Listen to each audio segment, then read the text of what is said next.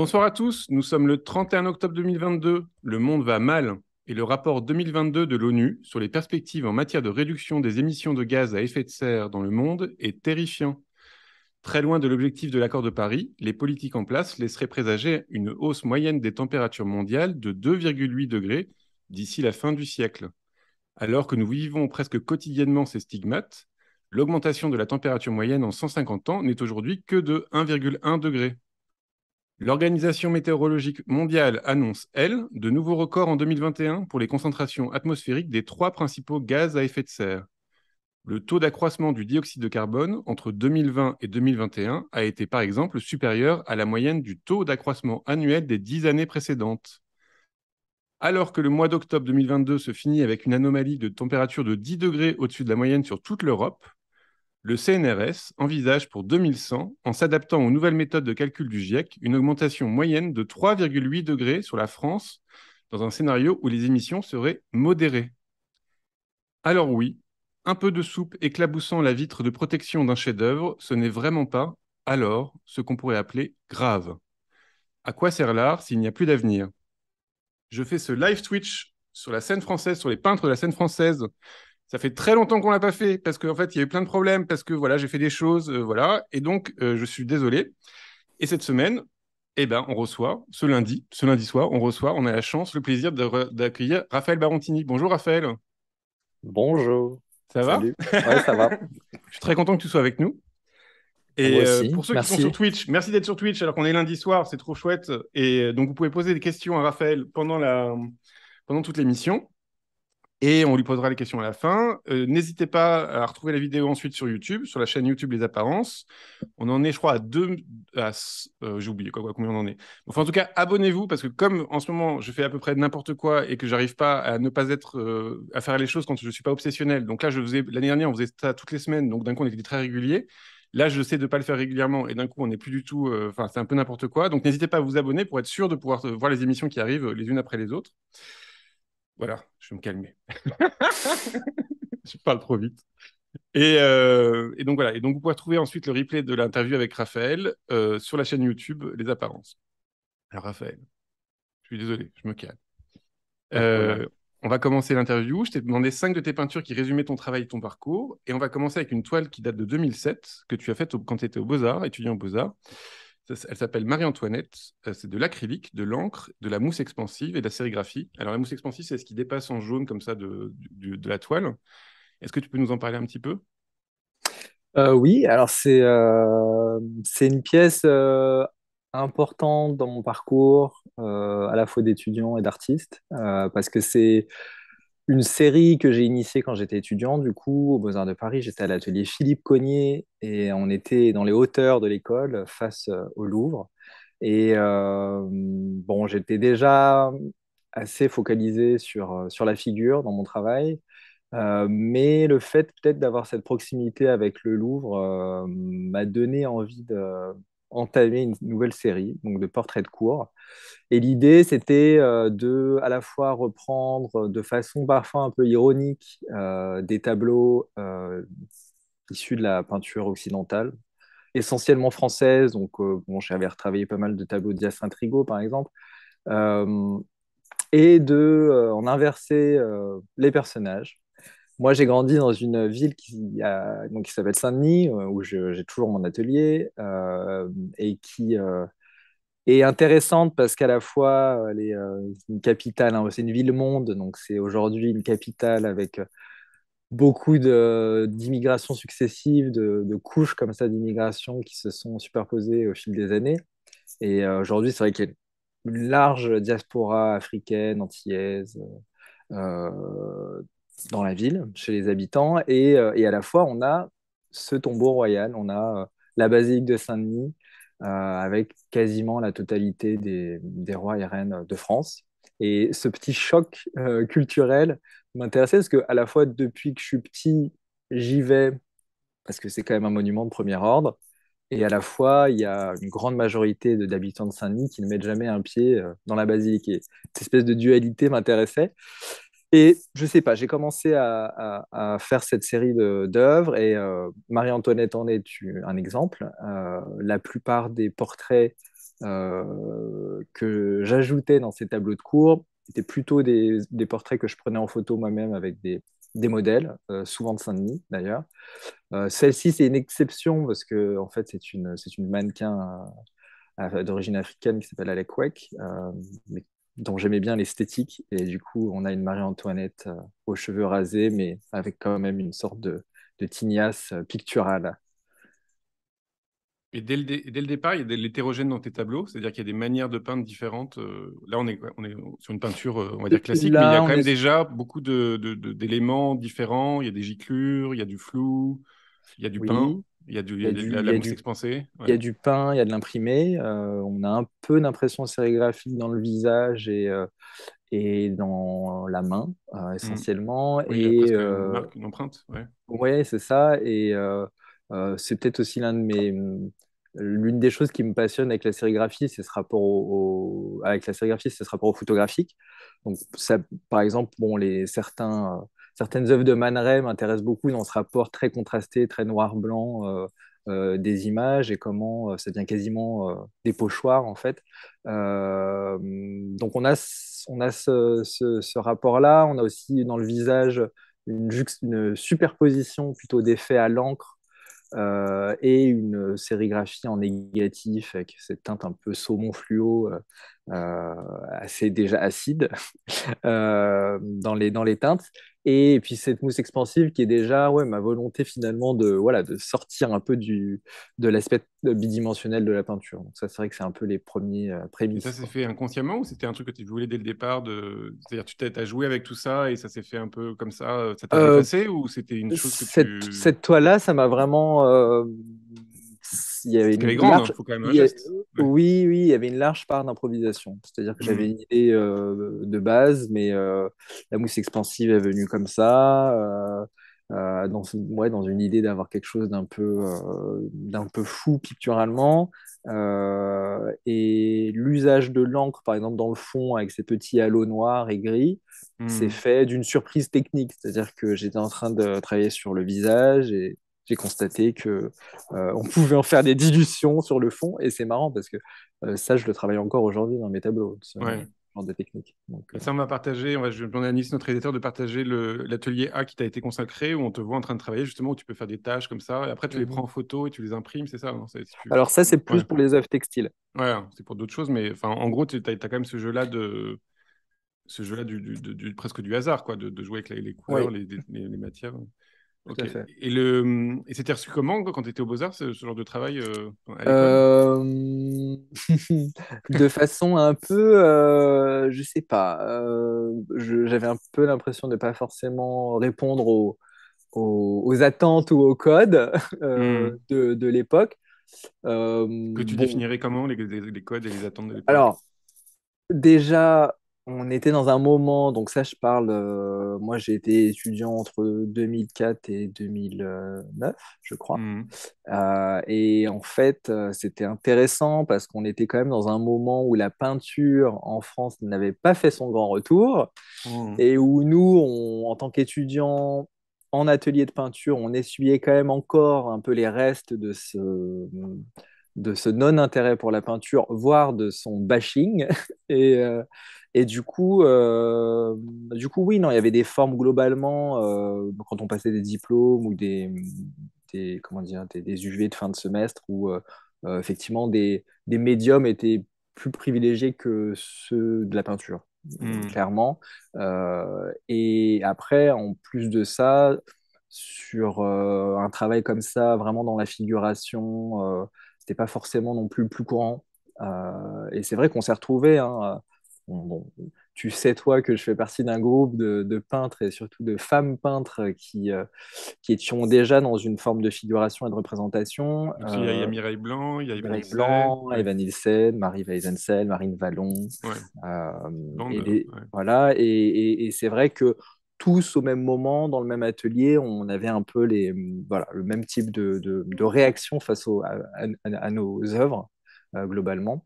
et voilà. D'accord. après, non, non, non, mais je veux dire, après, après je, peux, je peux être plus large, mais, mais, mais, mais euh, je peux être plus complet. Euh, la réception, euh, notamment sur le fait de, de switcher comme ça des, des, des codes de l'histoire de la peinture occidentale et d'en d'en changer les. Ouais, antagonistes, ouais. et puis les antagonistes et puis la, quelque part la narration je dirais pas que j'ai eu frontalement euh, des, des, rejets, mais c'est vrai que c'était plus un, désintérêt, on va dire, euh, pour être poli. D'accord. Et, ça, après, tu es allé en échange, je crois, aux États-Unis, c'est ça? Après, je suis allé en échange à Hunter College, à New York, et effectivement, mon grand, euh, mon, ouais, mon, mon, grand choc a été de découvrir qu'en fait, la peinture, c'était pas un problème, premièrement. Euh, et du coup, il y avait vraiment, euh, bah, vraiment, il y avait vraiment une joie de faire de la peinture euh, dans cette école, et c'est pour, pour, ça qu'on me l'avait conseillé d'ailleurs.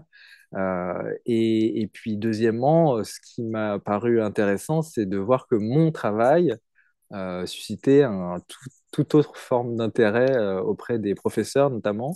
Et, mmh. et, ça, c'était intéressant parce que du coup, en fait, moi, je m'inscrivais presque dans une continuité de choses qui étaient faites euh, aux États-Unis. Après, c'est pas non plus anodin puisque j'ai beaucoup de mes références euh, artistiques qui sont issues de la peinture américaine. Donc, euh, hmm. je me dis que peut-être cette filiation, elle s'est faite de façon un peu inconsciente et que bon, bah, eux, ils y, ont vu des codes que moi j'avais remaniés, mais, mais un intérêt en tout cas qui était très porté sur l'histoire de la peinture américaine. Ça t'a donné beaucoup de confiance, non, après, quand tu es rentré euh? Oui, ah, c'est clair, c'est clair. Euh, ça m'a donné une confiance aussi bien euh, sur, sur vraiment Confiance, pardon. Confiance. ouais, ouais, confiance. Ouais, ouais, confiance aussi bien sur l'aspect formel, c'est-à-dire mmh. de, de continuer mes recherches. C'est d'ailleurs en rentrant de cet échange que j'ai commencé à, à, faire des pièces picturales qui n'étaient pas forcément des tableaux en tant que tels. J'ai commencé à faire des bannières avec les franges, des, mmh des peintures. Alors, c'était des, toiles, hein, parce que c'était vraiment euh, peint et imprimé sur toile. Hmm. Ensuite, découpé avec des ajouts de couture euh, et d'éléments euh, de passementerie, etc. Et du coup, qui déjà plaçait la peinture dans une idée d'installation, de mise en espace, et puis surtout d'amener les spectateurs sur un autre imaginaire, qui est plutôt celui, un univers carnavalesque euh, et, qui du coup aussi ramène sur d'autres géographies que celle de vraiment de l'histoire de la peinture occidentale. Donc euh, ouais, ça m'a donné, ça m'a donné cette confiance-là d'aller plus loin dans mes, dans mes choix plastiques et, et, aussi sur la thématique, sur la thématique, le fait de découvrir des scènes et des, des communautés d'artistes que je connaissais pas du tout euh, hmm. étant étudiant en France. voilà, ça, ça a été primordial. T'étais pas seul, quoi. Exactement. c'est con, con, à dire, mais oui, oui, oui. Euh, et euh, donc, on va justement passer à la deuxième œuvre qui s'appelle The Tapestry from an Asteroid. Donc, on est déjà en anglais. Et euh, donc, là, pour le coup, c'est presque une, une installation. Hein. C'est une impression numérique et sérigraphie sur tissu, du cordage bleu et du sable volcanique magnifique. Ça date de 2018. Est-ce que tu peux nous en parler un petit peu? Alors là, on a passé presque 10 ans hein, déjà. On, a passé 10 ans. vraiment du coup... dans, une identité qui est bien, qui est bien la tienne. Ouais. Eh ben, ces œuvres textiles, en fait, elles ont émergé grâce à la série des bannières à, franges euh, dont je parlais. Donc, hmm. ce, fait de déplacer euh, euh, ouais, le sujet pictural sur d'autres matérialités et d'autres mises en scène aussi. donc, ces œuvres-là, c'est ce que tu disais un peu tout à l'heure, c'est-à-dire que, en fait, le fond est une impression digitale c'est quelque chose que je peins. Alors euh, là, c'est un mélange de plusieurs fonds en fait. Donc il y a des choses à l'encre et des choses à l'aérographe que je prends en photo, que je retravaille sur Photoshop. Je recombine, je recompose quasiment comme si je créais un textile pour, euh, pour de la déco ou pour, pour du mobilier. Hein. C'est vraiment le même, même type de travail. Et une fois que j'ai ce fond, moi, je vais faire ma compo euh, avec mes personnages, mes figures. et du coup, toutes les figures, elles, vont être sérigraphiées sur différents pans de tissu plutôt des tissus vinyles. Donc, c'est des tissus un peu, vous savez, euh, tissus euh, plastifiés euh, qui permettent une, une, sérigraphie assez, assez propre, assez détaillée. Et une fois que j'ai imprimé en sérigraphie toutes ces, différentes pièces, je viens les coller sur ce fond digital, je les couds, Et du coup, on a une pièce textile qui, est vraiment, où quasiment on voit pas forcément les mêmes les effets d'épaisseur. Et c'est quelque chose de très plan. Et à la fois, une fois que j'ai créé ça, je peux m'autoriser pas mal de, de, choses en mise en scène hein, et théâtraliser la pièce. Là, c'est alors Tapestry from an c'est un titre en anglais effectivement parce que c'est une c'est la reprise d'un morceau de Sun Ra, jazzman afro-américain. Hmm. Et euh, du coup, je l'ai laissé en anglais. Euh, mais cette idée d'une tapisserie qui vient d'un ailleurs, euh, c'était un peu l'idée de la, pièce. Et la tapisserie, pourquoi? Parce que bah, c'est un espace qui est assez narratif dans l'histoire de la tapisserie. C'est un objet qui est, même si plutôt décoratif pour des intérieurs, a souvent une dimension narrative. Et du coup, là, l'idée d'avoir un grand bandeau, d'une sorte de panorama, euh, c'était, vraiment dans cette idée-là. Et euh, on a aussi bien euh, une ménine de Velázquez que, enfin une infante pardon de Velázquez mmh. que pareil, des, des, des, photos ethnographiques de la période coloniale en Afrique qui sont imprimées en négatif. On a un cheval antique, je crois. voilà, donc c'est vraiment un amalgame d'iconographie euh, aussi bien euh, issue euh, du champ de la peinture que du réel avec la photo que de la sculpture même. Et là, toute ta composition, tu l'as faite d'abord sur Photoshop. Il n'y a presque pas de, y a pas de décalage entre ce que tu as. Quand tu vas sérigraphier dessus ou rajouter de la peinture dessus, en fait, il n'y a pas beaucoup de décalage entre ce que tu as prévu et. Euh c'est vrai. C'est vrai. Euh, sur les pièces textiles, j'ai moins d'improvisation. C'est-à-dire que la plupart du mmh. temps, en plus, comme il y a des étapes de, print numérique en grand format, etc., qui sont un peu onéreux, euh, du coup, c'est vrai que j'ai un peu moins de. Ça coûte combien Juste pour, pour avoir une idée? Euh, sur un format comme ça, là, on est sur une pièce de 3 mètres de haut, sur 10 mètres de long. Bon, approximativement entre 500 et 700 euros, 800. Mmh, ça, va se rater quand même. voilà. sachant, sachant, que c'est juste la base. Après, il y a bien sûr, bien sûr. le travail de sérigraphie, le mmh. matos de sérigraphie. Et donc, tu laisses des réserves, tu laisses des réserves euh, Non, c'est vraiment plein. Ok. Et après, tu repars euh, par-dessus. Quoi. Voilà. Et après, je, je, je, je sérigraphie mes, mes, pièces et puis je les, je les colle. Donc, du coup, euh, un travail de, collage et de découpe. Et, là, ce qui est important pour toi, c'est que la matière, elle soit quand même, encore une fois, il y, a il, y a, il y a le montage, il y a le collage, on va dire, des images qui, sont, qui se collent, et il y a aussi des collages de matière. C'est-à-dire que les matières sont vraiment hétérogènes sur, le, sur la surface du tissu. C'est important pour toi. Oui, oui, voilà, c'est ça. Il y, a des, il y, a des, tissus qui sont plus, plus irisés, par exemple. Il y a des, hmm. euh, des tissus euh, très opaques, d'autres très brillants. Euh, jouent sur les matérialités, les couleurs. Et, euh, et en même temps, voilà, le fait d'avoir une œuvre qui peut être aussi bien présentée de façon très tendue, euh, très rectangulaire quelque part, et, euh, et, parfois la pièce peut être plus plissée, plus théâtrale, la courbée, enfin, il y a plein de modes de, présentation qui hmm. fait que dans des, dans des, ouais, dans des, dans des espaces de monstration un peu différentes, ça peut, ça peut évoluer, quoi. Et je t'ai entendu dire que avais, tu cherchais un peu à casser le tableau, l'objet tableau aussi, parce que tu avais, euh, avais, vécu des carnavals en Guadeloupe ou des choses comme ça. Mmh. C'est un truc qui t'intéressait beaucoup, le commun de, de oui. ces images-là. Euh, tu, tu, dirais qu'il euh, y a une lourdeur dans le tableau? Alors, euh, pas forcément, mais disons que, euh, je, je pense, hein, que je me trompe, mais, mais que, le, que le tableau, il a forcément une existence quand même assez euh, muséale ou en galerie, mmh. ou en centre d'art bien sûr, mais et du coup, cet espace d'exposition précis fait que ça donne une assignation quand même à la pièce. Hmm. Et euh, même sur des questions très juridiques, d'assurance, etc., on ne peut pas s'amuser à faire des, folies. Euh, moi, j'ai des pièces picturales, par exemple, comme les peintures bannières avec les franges, euh, qui ont une dimension performative, c'est-à-dire qu'elles peuvent être aussi bien présentées sous forme d'installation dans l'espace, mais elles peuvent aussi avoir une existence dans l'espace public pour, à l'occasion d'une performance. Euh, ça avait été le cas, par exemple, euh, l'exposition euh, de Golden. Oui, exactement. Bien informé. The Golden March, où là, effectivement, j'avais fait plusieurs bannières et capes qui étaient portables et où, d'un seul coup, je trouve ça intéressant de, de faire sortir l'objet pictural du, hmm. du, musée ou de la galerie. Et, et du coup, c'est aussi intéressant parce que bah, finalement, on n'a pas forcément toujours les mêmes publics face aux pièces. Et, et en fait, j'ai souvent des, interactions intéressantes avec un, autre type de public. Et, et, à la fois, comme tu le disais, effectivement, c'est des formes, les bannières, les drapeaux, des choses qui rappellent, on va dire, dans l'inconscient collectif, des, plutôt des supports de, de parade ou de procession. Ou, euh, donc c'est aussi bien dans le champ religieux que dans le champ carnavalesque, dans le champ des, des, arts populaires, des traditions populaires plutôt. Et ça, ça m'intéresse aussi quand même, parce que euh, dans, mon, dans mes recherches d'iconographie, euh, j'ai toujours beaucoup regardé les arts populaires. un peu à droite à gauche, je suis passionné par l'art populaire mexicain, par exemple. Il y a des choses comme ça qui vraiment m'intéressent esthétiquement parlant.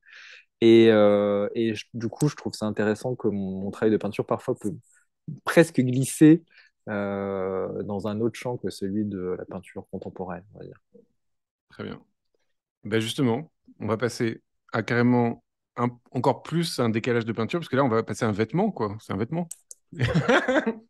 Donc, ça s'appelle Cap Saint-Maurice, euh, et c'est une impression sérigraphique sur cuir et tissu, cuir de crocodile et mhm. ajout de passementerie. Mhm. de 2020. Est-ce que tu peux nous en parler? Ouais, c'est une œuvre qui est issue d'un corpus un peu particulier parce que du coup, c'est euh, en fait un travail que j'ai mené en, avec une résidence euh, avec le groupe LVMH, avec les métiers d'art du, du, groupe LVMH. Du coup, l'idée était de, de m'envoyer euh, à Singapour dans une tannerie de cuir exotique. de crocodile, c'est ça? Ouais. Crocodile. Donc, dans un premier temps, pour pour quelque part m'approprier les techniques des artisans, voir ce que je pouvais y faire. Donc il y a toujours un mhm. peu une phase d'observation, parce que c'est une, une, résidence assez longue.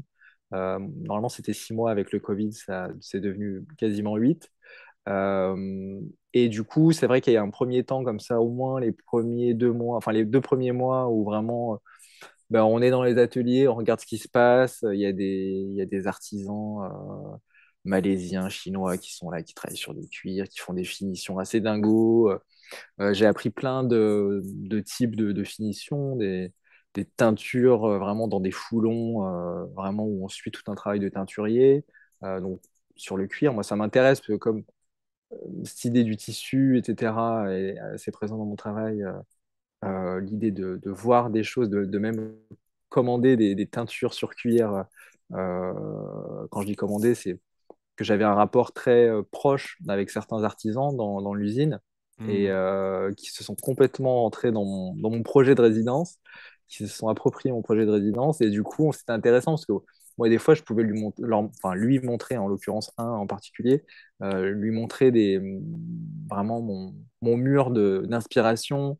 Donc, je pouvais lui montrer, je sais pas, des bijoux antiques égyptiens, par exemple, et on essayait de réfléchir à comment trouver une, une façon de produire des cuirs euh, euh, qui crée quasiment l'idée d'un bijou. Donc, euh, jouer sur des, teintures de turquoise, par exemple, avec des choses dans de l'ordre de la dorure, comment faire ça sur cuir, est-ce qu'on... voilà, donc il y avait vraiment cette dimension vraiment d'expérimentation. Et donc cette cape en particulier, pour y revenir, c'est une des pièces portables de la résidence. Elles sont quasiment toutes portables, mais c'est l'une vraiment euh, qui a été portée d'ailleurs pour le quand on a fait le, shooting pour le, livre de la résidence. Et euh, du coup, ça reprend la figure de Saint Maurice, euh, donc centurion thébain égyptien. donc un soldat de l'Empire romain, mais venant d'Égypte, qui menait un, un régiment de 300 Égyptiens, je crois, de Thèbes, et qui, euh, qui, a eu une, une représentation euh, assez féconde dans l'histoire de la peinture euh, européenne, parce que souvent, à la fin du Moyen Âge, au début de la Renaissance, on voit cette figure de chevalier noir parfois au milieu d'autres chevaliers blancs, et on se dit, mais qui est ce, qui est ce mec mmh. Et fromage dans ce... c'est un peu ça, oui, on se demande même, on se demande. au départ, j'ai mmh. cru que c'était un hommage, je me disais, mais... Mmh. Et en fait, j'ai appris que c'était Saint-Maurice, donc ce, soldat thébain, et euh, qu'en fait, a été, euh, qui en fait a été béatifié euh, parce qu'il avait refusé de massacrer un village dans le sud de l'Allemagne avec ses compères. Et malheureusement, l'Empire romain a décidé de tous les assassiner pour l'exemple. Et en fait, cet homme a été béatifié. Et donc, c'est devenu Saint Maurice. Et ce qui est intéressant, c'est que Saint Maurice, il est à la fois très présent dans la peinture germanique, italienne, et souvent dans des tenues vraiment d'apparat. Donc finalement, c'est l'un des premiers hommes noirs représentés dans l'histoire de la peinture dans une position de pouvoir. Voilà. Et, et à la fois, moi, dans ce moment précis-là de, résidence, il m'intéressait aussi parce que, en fait, c'est le saint patron des teinturiers. Euh, parce que à l'époque, à la fin du Moyen Âge, euh, la teinte noire, la couleur noire était très difficile à obtenir euh, pour le textile et que du coup, euh, c'était un peu le graal des teinturiers d'avoir un beau noir. Et, euh, et, du coup, ils avaient choisi comme saint patron bah, le seul saint à l'incarnation noire dans la chrétienté. Donc voilà, donc c'est une figure qui m'a intéressé, qui m'intéresse encore parce que j'y dédie une expo qui va ouvrir en décembre à la Halle, à Pont-en-Royan, centre d'art avec qui je, je, fais cette exposition personnelle. Et toute l'expo est tournée autour de cette figure de Saint-Maurice. Et donc là, effectivement, la pièce, c'est une cape qui est portable, il y a à la fois des sequins, il y a des, il y a des, des, pièces de, de, de, cuir de crocodile qui sont en fait des choses que je récupérais, des chutes en fait de cuir euh, mmh. de la production euh, de la tannerie. Euh, il y a de la sérigraphie sur, pareil, sur des, sur des reformes de cuir, sur des, sur des pièces non utilisées de la tannerie qui sont plus planes. Voilà, donc il y a tout ce, travail que, que j'ai mené et à la fois l'idée de d'utiliser une matière si spécifique et si, euh, comment dire, ancrée dans, une, dans un imaginaire vraiment particulier, euh, aucun coin du monde d'ailleurs, parce qu'il y a des crocodiles dans le monde entier, euh, quasiment. Et, et, et, du coup, moi, je l'ai rattaché aussi bien à, la figure d'un dragon. Ouais, issu de la, de, la, peinture un peu fantastique européenne, de représentation de gravures médiévales, qui a des représentations euh, oui, asiatiques parfois. Donc, euh, Et la sérigraphie, ça, ça, vient quand même un peu du pop art dans la tradition, on va dire, picturale. Et toi, tu te, tu te verrais faire des, des t-shirts, des choses comme ça aussi C'est-à-dire de vraiment aller jusque... jusque oui, oui, oui, ça, ça je, je pourrais, je pourrais. Moi, ce qui intéresse, enfin, ce qui est drôle, c'est que j'ai commencé à faire de la sérigraphie très tôt, en fait, bien mmh. avant d'être aux Beaux-Arts. Euh, en fait, en habitant Saint-Denis, euh, j'étais euh, bon, déjà en classe d'art plastique au lycée et, et du coup, j'avais bon, un de mes premiers, enfin, parmi les premiers artistes que j'ai regardé de façon très approfondie, il y a bien sûr Rauschenberg et, Warhol. Mmh. Et ces artistes qui m'ont toujours intéressé, malgré le fait que quand on les voit beaucoup, des fois, il y a, y a une sorte d'épuisement euh, du hmm. regard à regarder leur travail. Mais, mais moi, ça m'a intéressé parce que du coup, euh, il y a vraiment euh, cette espèce de, pour les deux d'ailleurs, hein, d'interpénétration entre l'image photographique et la peinture, et comment du coup ça devient autre chose, et enfin, vraiment pour les deux. Et le fait de voilà d'utiliser l'image imprimée comme source de ouais, de, enfin, moi, j'imagine mes sérigraphies au moment d'imaginer mes compositions. C'est-à-dire que je suis déjà dans, un, dans une problématique de, de technique, de savoir comment je vais faire, quelle couche je vais mmh. aller sur laquelle, etc. Et, euh, et c'est, en fait, ça m'a toujours euh, passionné, quoi, cette façon de, d'entremêler la peinture et la sérigraphie. Et puis à la fois, la sérigraphie, on est dans l'imprimé, mais il y a toujours de l'accident, il y a, il y a, il y a une dimension manuelle, parce que moi, quand je, quand je fais le mouvement de, de racle, de sérigraphie, euh, bah, parfois il y, a des, il y a du déchet, parfois il y a des erreurs, je suis obligé de reconsidérer ce que je suis en train de faire. Et, euh, et, et je trouve que du coup, on est quand même dans un acte euh, pictural. Quoi. et par rapport à, à Warhol et Rauschenberg, tu es quand même plus large dans, ta, dans ton vocabulaire, c'est-à-dire dans le monde que tu vas utiliser. C'est-à-dire tu vas utiliser des peintures, des gravures du Moyen Âge, des choses mm. de, de, de, partout dans le monde en même temps. Enfin, c'est d'un coup, tu es dans un monde, une hybridation aussi beaucoup, beaucoup, beaucoup plus large que ce qu'ils ont pu offrir. Euh. Ça, comment tu comment tu classes tes, tes images et tout ça? Parce que c'est quand même tu vas très très loin. C'est ouais, c'est issu de, de alors beaucoup de recherches en ligne voilà, on vit avec son époque. Euh, hmm. Mais, euh, mais en même temps, cette idée-là, peut-être que c'est la technique qui t'amène cette idée-là. En fait, c'est juste le fait d'avoir Internet qui fait que tu as pu euh, être aussi large dans, dans ces, dans ces Sûrement, sûrement. ce que je fais aussi, c'est que je prends pas mal de photos dans les musées qu'on dit universalistes, hein, donc dans les gros hmm. musées type Metropolitan, le Louvre, à Chicago, à l'Art Institute, enfin tous ces gros musées qui couvrent des champs temporels et géographiques larges moi, ça me. Voilà, je trouve ça plus excitant de visiter le musée, d'y passer 3-4 heures avec mon, mon numérique et de prendre des photos euh, que de passer des heures devant mon écran. Donc, euh, du coup, quand je peux, je le fais. Hmm. Moi, ça me permet aussi d'avoir des photos sous plusieurs angles, quand les œuvres sont pas sous vitrine, etc. Euh, et en fait, finalement, voilà, je constitue des banques d'images qui sont assez larges. Et j'en ai depuis que je suis étudiant en Beaux-Arts. Hein. Des fois, je, quand je classe mes trucs, je fais Ah, cette photo, je me rappelle, je l'avais trouvée quand j'étais étudiant dans la salle d'informatique de l'école. Donc, c'est drôle. Mais, mmh. euh, mais du coup, oui, je pense que la sérigraphie et Internet font que euh, peut-être mon, mon spectre a été beaucoup plus large que euh, euh ceux de Rauschenberg et Warhol. Mais euh, bon, j'ai des souvenirs de peinture de Warhol avec euh, une peinture de Fra Angelico, donc il y a quand même. Euh, oui, mais il va pas, il va pas faire des grandes cassures comme. Oui. Là, tu es, dans le collage quand même. Tu, hmm. vas, coller le Moyen Âge. ouais, ouais, ouais, Tu vois. C'est vrai. mais Rauschenberg, finalement, Rauschenberg, il, faisait un peu plus ça. C'est-à-dire qu'il y avait pas mal de photos personnelles, notamment à la fin de sa carrière avec des transferts, des choses comme ça. Mais très américain.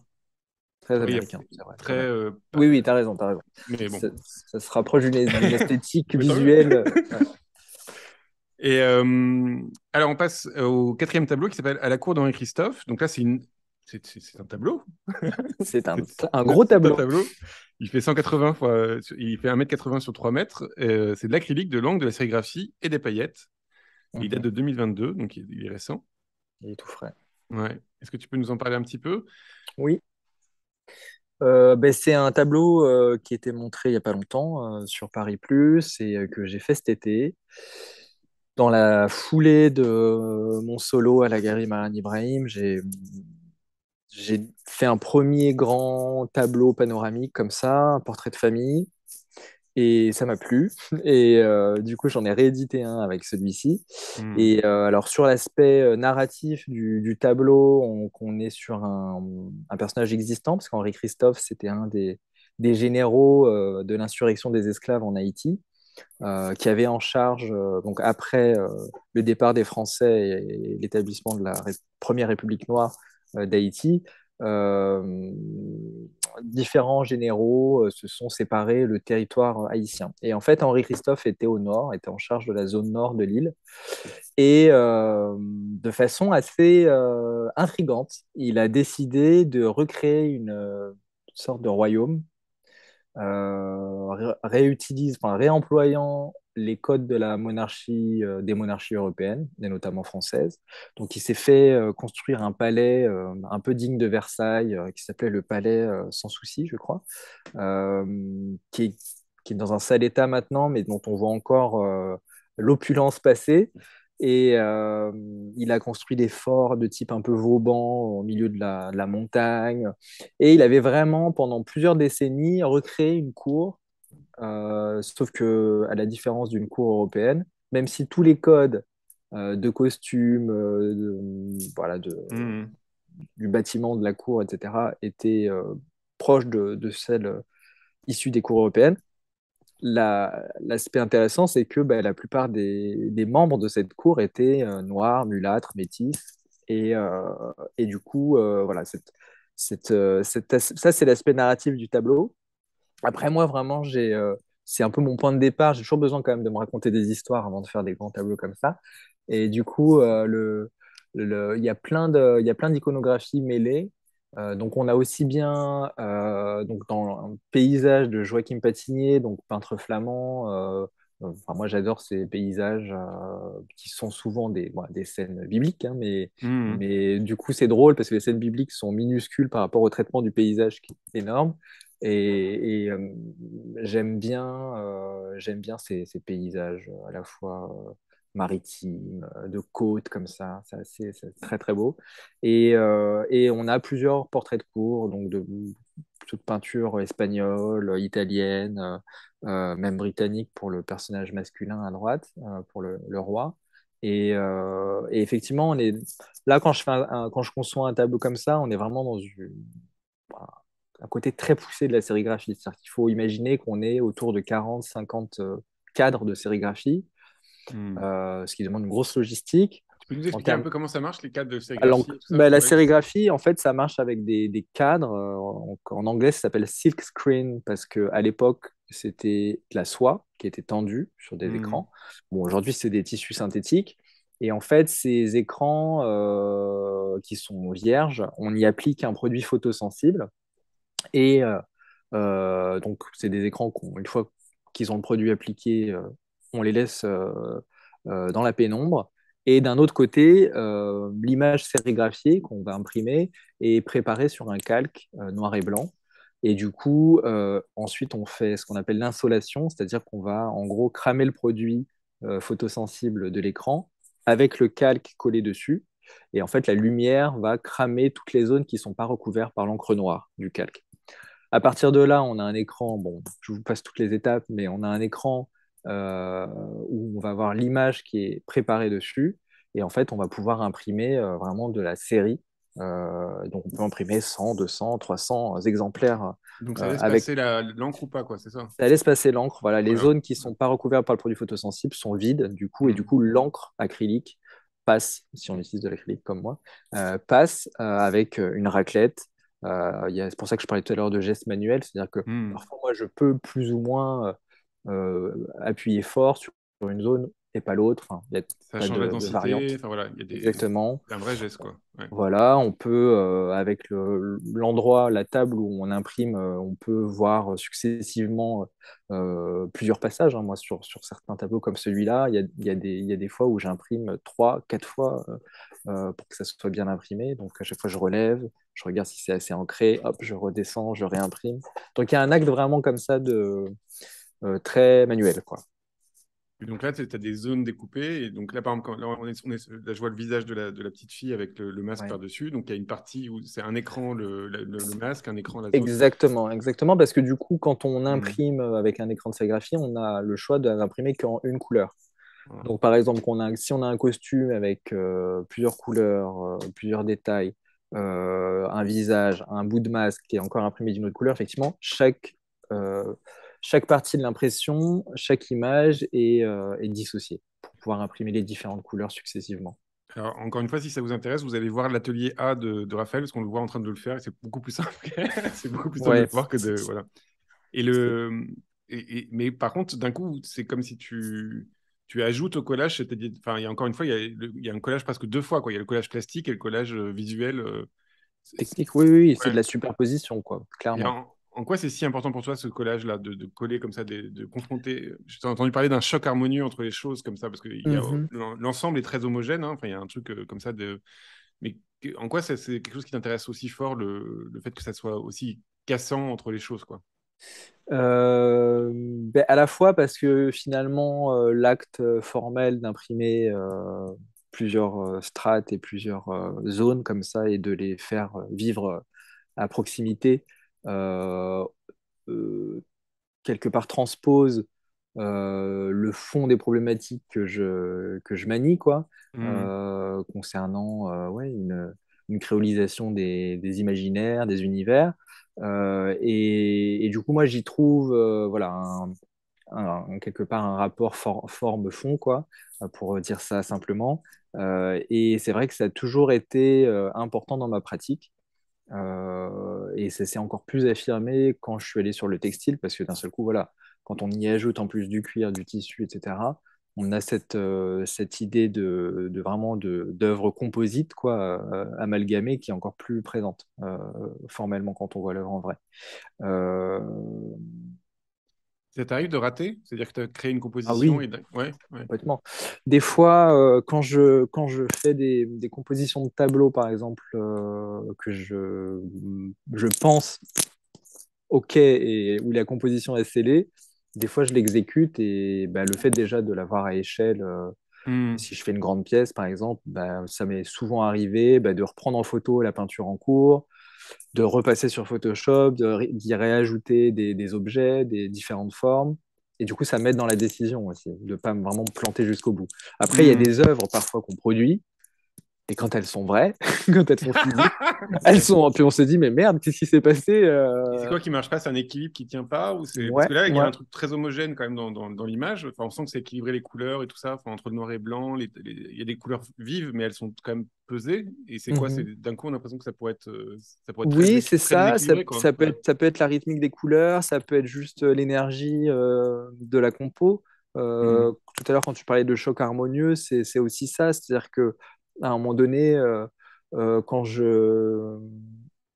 Alors, je sais pas si c'est le fait que j'ai été assez militant quand j'étais... J'étais très militant quand j'étais euh, plus jeune, lycéen, tout ça, et que c'était les moments finalement de prémisse de mon travail pictural.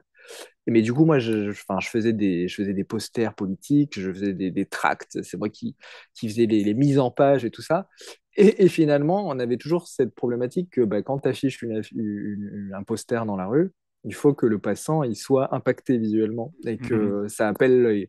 Et, euh, et, finalement, c'est marrant parce que dans mon travail pictural, j'ai l'impression que j'ai toujours gardé cette idée-là qu'il fallait que euh, rythmiquement, dans les, dans, les, ouais, dans, les, dans les couleurs que j'utilisais, il y ait une sorte d'appel. quoi. Euh, et, et, en même temps, comme je travaille sur des, des figures parfois historiques qui sont comme une, une sorte de comment dire, de, bah de, d'essai de remettre en selle des, des, figures qui n'ont pas forcément eu une place euh, voilà, principale dans, dans l'histoire.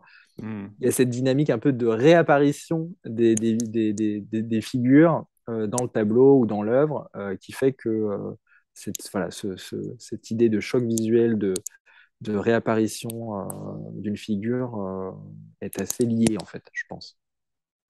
Et le fait de. Parce que là, il y a aussi, encore une fois, pas... on pourrait résumer ça comme ça c'est il y a eu la grande exposition, le modèle noir euh, au musée d'Orsay aussi là-dessus. C'est quelle place ont eu les Noirs euh, dans, dans, dans l'histoire de l'art et dans, le... Mmh et dans ces figures-là? Toi, toi j'ai l'impression que tu, cherches à réparer ou tu cherches à faire du carnaval, c'est-à-dire à rejouer cette chose-là d'abord avant de. Alors, cherche pas forcément à réparer. oui, non, non, non, mais je, je, vois ce que tu veux dire. Euh, ce qui est sûr, c'est que bon, ça, je pense que sur le postulat, à part euh, l'exemple de Saint-Maurice, euh, on a quand même très peu d'exemples de figuration de personnages euh, noirs qui soient positives. Donc c'est vrai que bon, voilà, bon, l'expo dont tu parles, qui était au musée d'Orsay, avait montré quand même que c'est vrai qu'on avait souvent bah, dans l'histoire de la peinture la présence d'une servante, d'un esclave, etc., etc. Donc c'est vrai que c'était pas une représentation valorisante. Euh, moi, après, c'est vrai que comme j'ai un travail qui, qui s'intéresse beaucoup à l'histoire, du coup, euh, l'émergence de figures qui, pour moi, ont été importantes dans l'histoire euh, globale, pas l'histoire de l'art, mais et, mmh. devient presque un besoin pour moi de, de, de, de trouver des figurations, de trouver des, des, modes de représentation pour ces figures-là. Parce que mmh. souvent, c'est des, des, personnages, je parle des leaders, euh, par exemple, de, de, la libération des esclaves ou de l'abolition euh, de l'esclavage euh, mmh. aux Antilles. Oui, là, on va voir un tableau. Moi, j'ai jamais vu, j'ai jamais vu ce tableau. Que tu vas, en parler après, mais j'étais là, genre, c'est quoi ce tableau?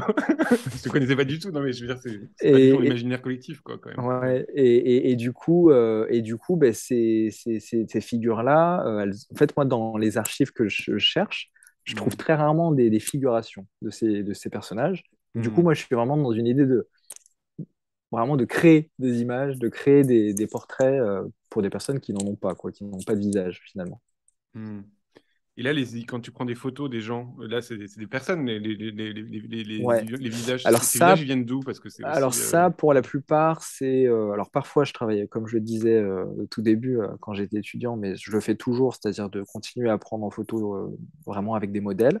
Mmh. mais là, en l'occurrence, sur ce tableau et dans pas mal de mes dernières œuvres, notamment dans, dans, des nouvelles, dans des nouveaux portraits de cours, je travaille à partir de fonds qui sont souvent euh, liées euh, à l'histoire, parce que c'est des photos qui étaient souvent prises pendant des missions euh, de colons donc en Afrique, dans plusieurs zones d'Afrique. et du coup, elles ont un... ce qui est intéressant, c'est qu'à la fois, moi, je les choisis parce que formellement, je les trouve belles parfois ou intéressantes esthétiquement. Et à la fois, elles ont été prises vraiment dans un regard exotique quoi, aux mmh. populations qui étaient colonisées. Et euh, pour les personnages féminins, parfois même euh, avec des, vraiment des, euh, un, un, regard érotisant, enfin vraiment déplacé.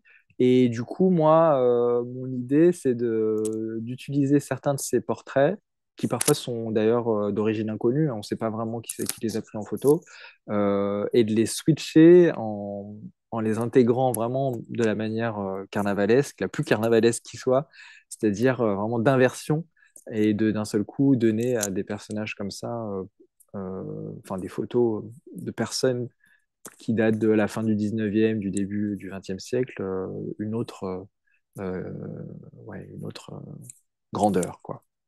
Voilà. La dignité, trop beau. Ouais.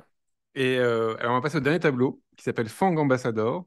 Oui qui, qui date aussi de 2022. Et donc, ça, pareil, c'est de l'acrylique, de l'encre et de la sérigraphie sur toile. Est-ce que tu peux nous en parler? Euh, Oui, c'est un tableau euh, assez, grand, enfin entre le moyen et le grand, on va dire. Euh, c'est vraiment dans cet esprit de portrait composite. Alors, deux souvenirs, je crois qu'on a, oui, on a un bout de masque Fang du Gabon. On a, pour le coup, là, le bout d'un portrait euh, d'un jeune modèle euh, avec qui je travaille depuis quelques années.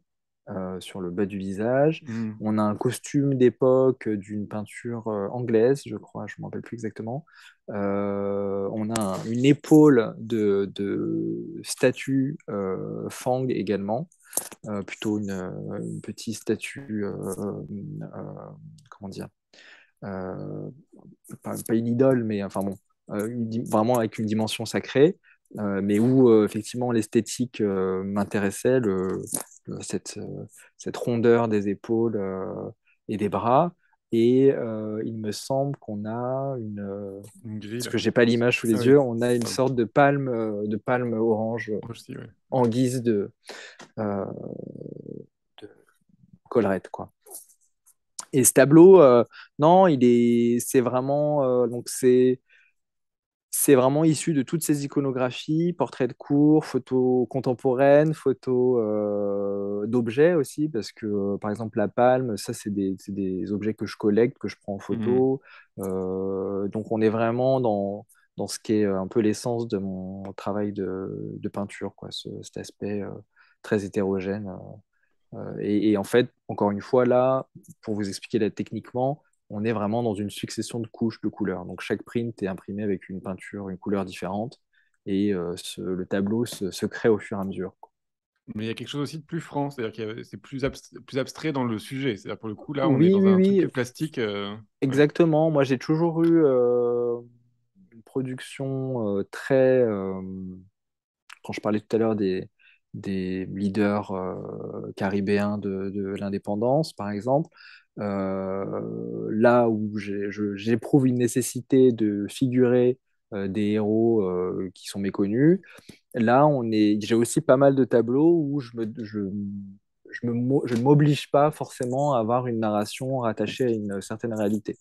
donc c'est vrai qu'on est dans quelque chose de plus onirique, de plus imaginaire et là, c'est vrai que ce qui m'intéressait, c'est qu'aussi en, regardant l'histoire de la peinture, on avait un certain nombre d'exemples euh, d'émissaires, d'ambassadeurs, euh, de cours africaines qui étaient en fait présentes dans les cours européennes, qui étaient aussi en tenue d'apparat, notamment au Portugal.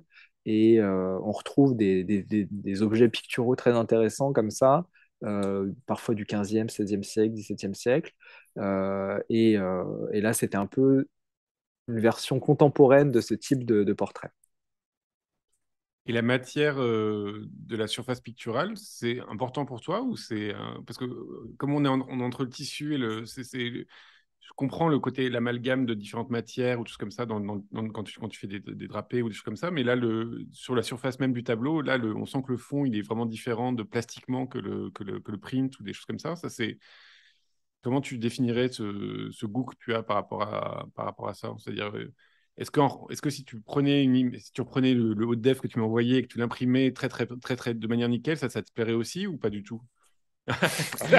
Non, ça m'intéresserait pas. Euh, c'est marrant, même si mes peintures sont assez lisses quelque part. C'est le petit écart, quoi. Ouais, ouais, mais c'est le petit écart. Euh, mais comme, euh, si vous, je pense que si tu poses la question à Amélie Bertrand, elle te répondrait la même chose. Pour elle, je pense que ça l'intéresse pas. Elle pourrait imprimer, mais, mais d'un seul bah. coup, la technicité, le, couche par couche, euh, hmm. euh, la très, même l'infime euh, épaisseur des choses fait que on n'a pas le même rendu. C'est dans la précision, mais. Je crois qu'Amélie a fait des prints. Mais oui, oui, elle n'a pas le même non, rendu. Mais non, mais en peinture. En... Oui, elle a fait des impressions pigmentaires, je crois. Oui, aussi, mais c'est nouveau, ça. ouais. ça, pendant longtemps, non, pendant longtemps, elle a défendu le fait de faire des hmm. choses très, très, très léchées avec une pratique même parfois de la peinture à l'huile. Euh, et du coup, euh, c'est marrant parce que c'est le, petit, euh, le petit switch qui. Et, par exemple, toi, le, les, dessins d'IPAD de, David Dockney imprimés sur papier, tu n'y crois pas trop non, mais c'est intéressant. parce que J'ai euh, vu l'expo. Bah, bon, on, on, en a vu pas mal parce qu'elle elle voyage beaucoup ces expos-là, mais bah, là, il y a. Ah, c'est pratique, on peut le faire 12 fois après. C'est ça.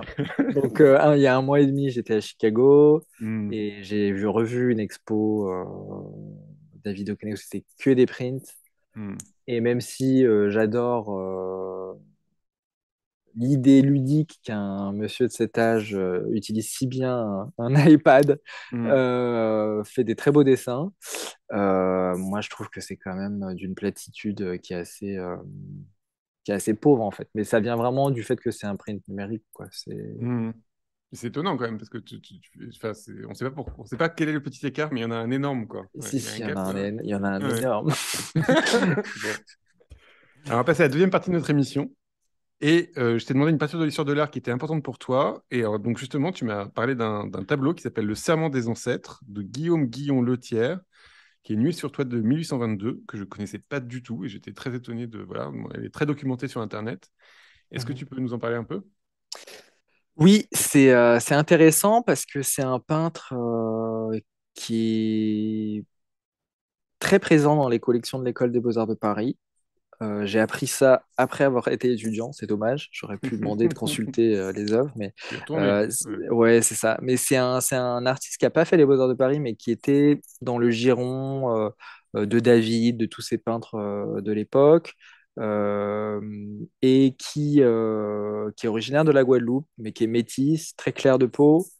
Donc du coup, on sait à peine qu'il est métisse, mais, mais en fait, son rattachement différentes figures de l'époque euh, euh, devient intéressante parce qu'on se rend compte qu'au XVIIIe siècle, il y avait une fratrie euh, entre le chevalier Saint-Georges, Thomas Alexandre Dumas, donc le grand-père des deux écrivains qui étaient à la fois des hommes d'armes, mais parfois des artistes comme Chevalier Saint-Georges, et Guillaume Guillon de Lethière, qui était parmi cette fratrie de jeunes hommes issus de la Caraïbe, souvent métissés parce que finalement, ils avaient bénéficié euh, d'études euh, en France parce qu'ils étaient les enfants de pères euh, blancs et français. Et, Guillaume Guillaume de Lethière, il est intéressant parce que, en fait, il a passé sa vie à peindre des sujets très classiques, presque pompiers, je dirais. donc, du coup, il a vraiment. c'est vraiment le type de peinture qu'on voyait à l'époque des, de l'Académie de Rome, etc., Beaux-Arts de Paris. Euh, et, en fait, il a fini sa carrière quasiment avec ce tableau, je crois. Et, euh, sur, et en fait, ce qui m'intéresse, c'est que euh, c'est un tableau très symbolique parce que bah, il représente la naissance de la République noire d'Haïti. c'est le général Pétion, je crois, qui est en compagnie de Jean-Jacques de... et Jean-Jacques de Saline. Et Jean-Jacques de Saline. Un mulâtre, euh, donc euh, métis très clair de peau, euh, l'autre noir. Et en fait, c'est une sorte de figuration de l'unité de la République noire d'Haïti. Et c'est intéressant parce qu'il y met des sous-titres, Guillaume Guillaume Laitière, que j'ai plus en tête, mais finalement, c'est un peu son, son baroud d'honneur en tant que peintre et euh, il veut affirmer que c'est un peintre de couleur pour lui et que euh, c'est important pour lui de figurer ce moment historique et que c'est finalement quasiment un soutien à cette cause.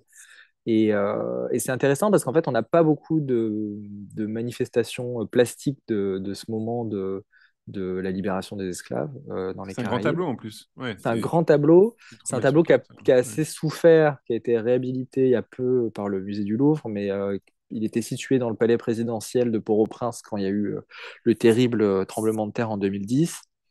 Euh, ensuite, il a été envoyé au Louvre euh, complètement en accordéon, euh, tout, tout abîmé, et le Louvre l'a restauré. Et je crois qu'il est reparti en Haïti il y a peu. Et ouais, c'est un, un, un, tableau qui, qui, est intéressant, qui est intéressant parce que ça montre que dans l'histoire de la peinture, il y a une, une, peinture politique entre guillemets euh, comme euh, Théodore Géricault a pu être un peintre politique euh, mmh. avec le radeau de la Méduse, on, voit qu'il y a quand même, même si c'est des scènes très léchées, très composées, etc., déjà quand même des peintres qui prennent des, positions en fait, dans le fait même de, peindre des sujets. et voilà, c'est un, un, tableau qui, qui... j'ai jamais encore eu la, la, chance de le voir, mais en vrai, mais c'est un tableau qui m'intéresse beaucoup il y a aussi le fait que de choisir de peindre quelque chose, c'est déjà mettre en valeur. Enfin, il y a ces trucs-là que c'est très important pour toi. C'est ça, et en plus, euh, je pense qu'il y a presque un, truc un peu d'identification aussi vis-à-vis de ce, personnage. Et, euh, et euh, je me dis, voilà, c'est drôle. Hein. Il, traînait dans les Beaux-Arts de Paris, dans les couloirs des Beaux-Arts de Paris à cette époque-là. Moi, j'ai fait les Beaux-Arts de Paris. Euh, il vient de Guadeloupe. il y a vraiment un truc qui est, qui, est, qui, est, drôle, quoi, aussi. Mmh. Et, et, du coup, ouais, c'est un, des peintres que j'ai que, que découvert un peu sur le tard, mais qui est, qui est important. Et toi, tu vas souvent, tu vas souvent en Guadeloupe?